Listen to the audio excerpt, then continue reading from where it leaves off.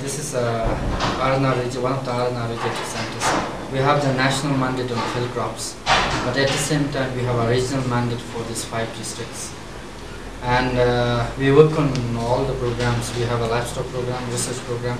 We have a field crops research program. We have horticulture research program, and we also have uh, uh, what we call farming systems and support services.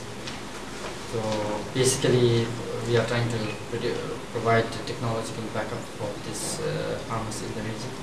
And we coordinate uh, at the field crops level, we coordinate nationwide for field crops research, providing coordination and research direction.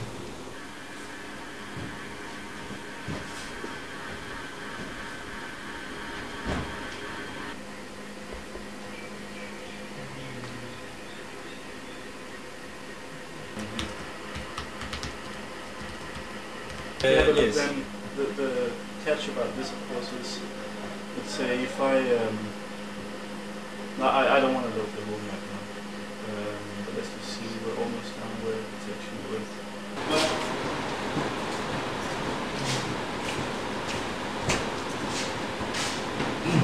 That's fine. Yeah, yeah. This is very good. Uh-huh. This is organic, made in Bhutan. but the king say they should be bigger, and he's right. you agree?